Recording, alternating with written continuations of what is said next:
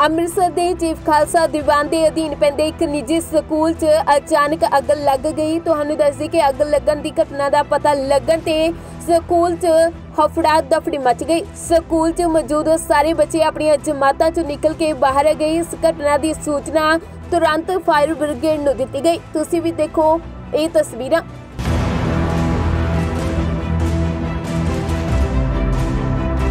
ਦੱਸਦੀ ਕਿ ਸਕੂਲ 'ਚ ਅੱਗ ਲੱਗਣ ਦਾ ਮੁੱਖ ਕਾਰਨ ਸ਼ਾਰਟ ਸਰਕਟ ਦੱਸਿਆ ਜਾ ਰਿਹਾ ਹੈ ਸਕੂਲ ਦੀ ਇੱਕ ਅਧਿਆਪਕ ਜਦੋਂ ਕਲਾਸ 'ਚ ਮੌਜੂਦ 70 ਦੇ ਕਰੀਬ ਬੱਚਿਆਂ ਨੂੰ ਸਮਾਰਟ ਬੋਰਡ ਰਾਹੀਂ ਪੜ੍ਹਾ ਰਹੀ ਸੀ ਤਾਂ ਅਚਾਨਕ ਸਪਾਰਕਿੰਗ ਹੋਣ ਲੱਗ ਪਈ ਦੱਸਿਆ ਜਾ ਰਿਹਾ ਕਿ ਅਧਿਆਪਕ ਨੇ ਉਸੇ ਸਮੇਂ ਸਾਰੇ ਬੱਚਿਆਂ ਨੂੰ ਜਮਾਤ 'ਚੋਂ ਬਾਹਰ ਕੱਢ ਦਿੱਤਾ ਤੇ ਆਲੇ ਦੁਆਲੇ ਦੀਆਂ ਜਮਾਤਾਂ ਦੇ ਬੱਚਿਆਂ ਨੂੰ ਵੀ ਬਾਹਰ ਜਾਣ ਲਈ ਕਿਹਾ ਗਿਆ